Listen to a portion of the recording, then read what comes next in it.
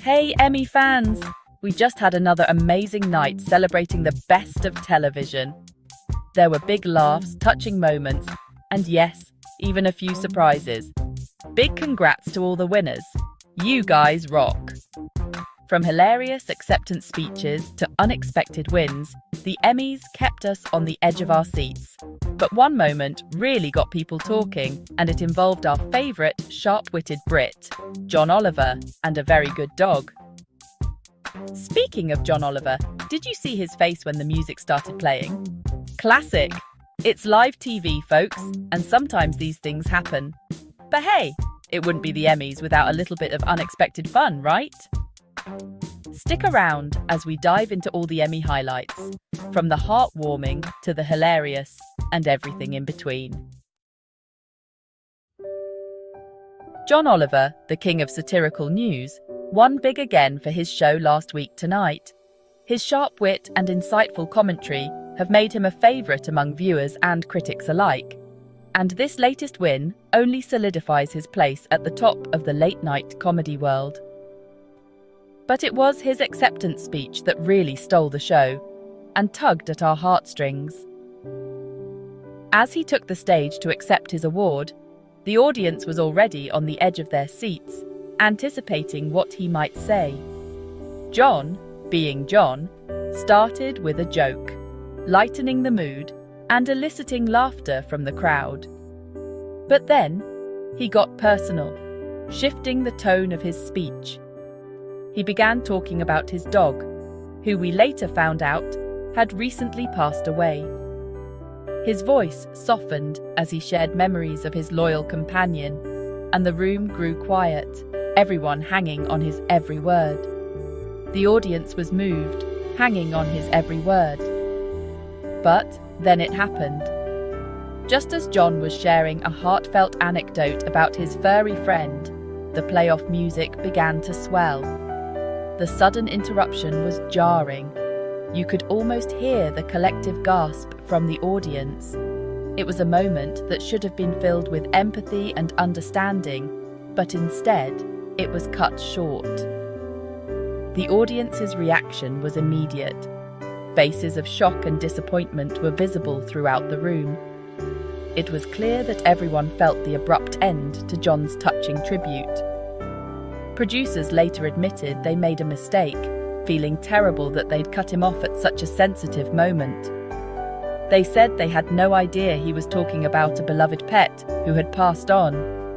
They expressed their regret, acknowledging the importance of the moment and how it resonated with so many people. It was a reminder of the unpredictable nature of live television. Live TV can be tricky, right? The timing, the cues, the unexpected moments, it all adds up to a high pressure environment where mistakes can happen. But John, ever the pro, handled it like a champ. He chuckled, rolled with it, and even managed to get in a final message of love for all the good dogs out there. He chuckled, rolled with it, and even managed to get in a final message of love for all the good dogs out there. He reminded everyone that, despite the interruption, the sentiment remained the same.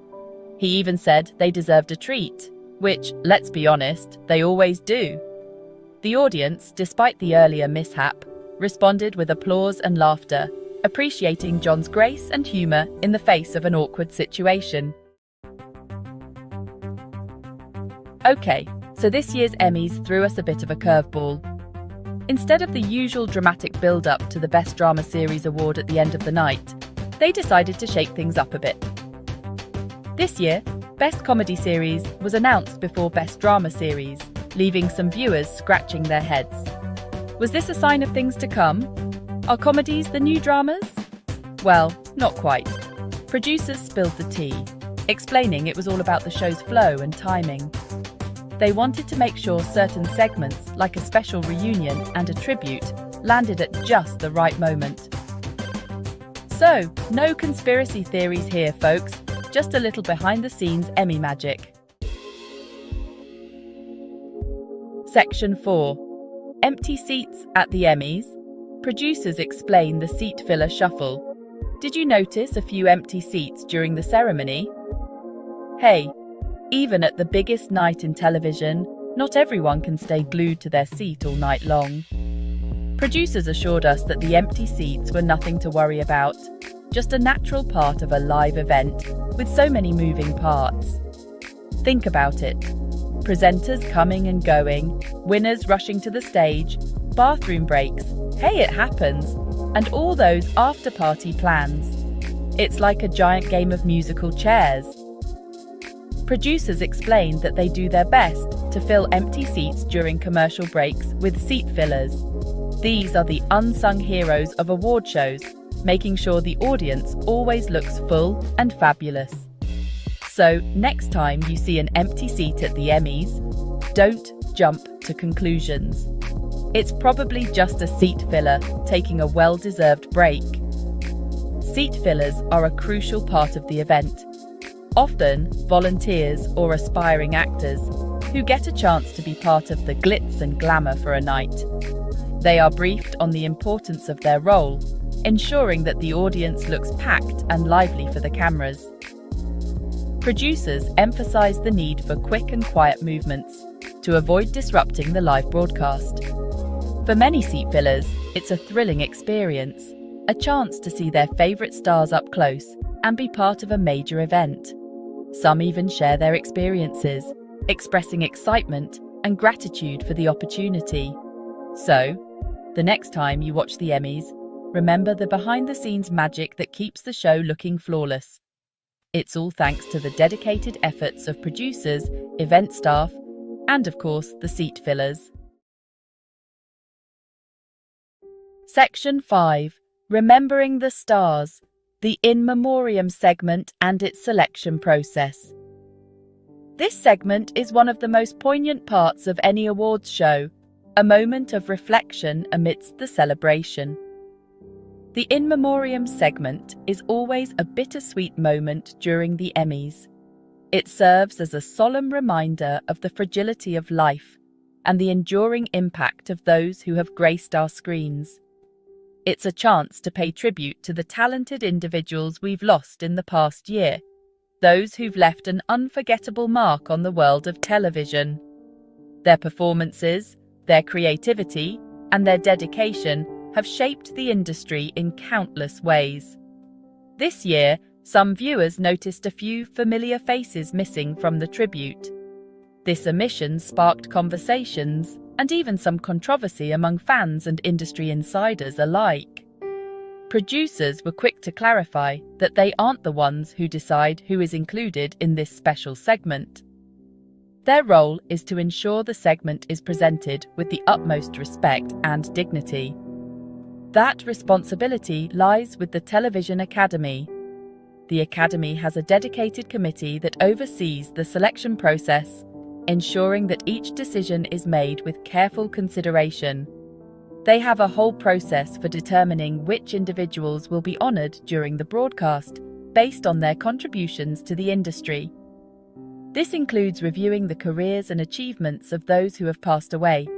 It's a tough job, and no doubt a lot of thought and care goes into it.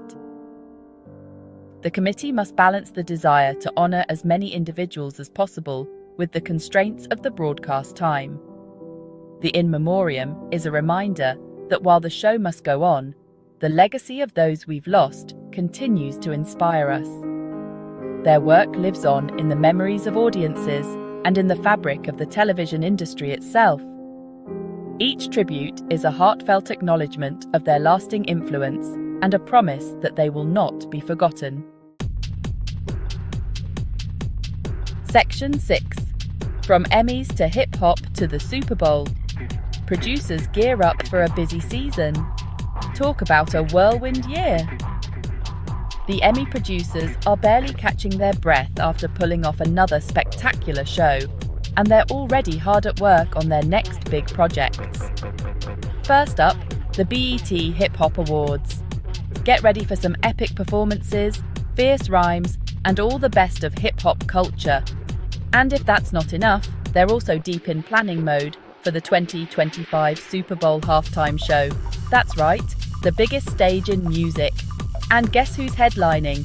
None other than the multi talented, Pulitzer Prize winning Kendrick Lamar. Can you imagine the show these guys are going to put together? I'm already marking my calendar for that one. Section 7 Lessons Learned and Looking Ahead. Emmy producers reflect on the show's success. So, what did we learn from this year's Emmys? For one thing, John Oliver loves his dog. Also, live TV is unpredictable. Seat fillers are the real MVPs. And Emmy producers are basically superheroes of entertainment. They manage to juggle multiple high pressure events, all while making it look effortless. From the hilarious to the heartwarming, the 2024 Emmys delivered another unforgettable night of celebrating the power of television. And with the BET Hip Hop Awards and the Super Bowl halftime show on the horizon, it's clear these producers aren't slowing down anytime soon. I don't know about you, but I can't wait to see what they come up with next.